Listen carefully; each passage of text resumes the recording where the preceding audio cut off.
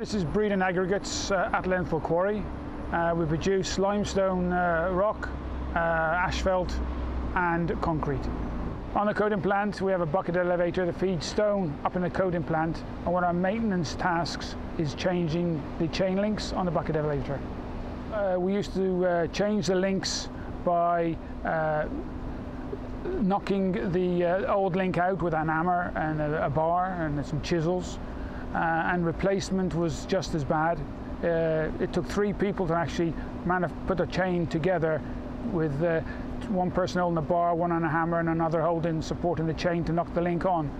And uh, this causes uh, big issues with health and safety, with hammers, and pinches and, and uh, slithers coming from bars. From that we devised a tool to improve and make it safer to actually replace the links.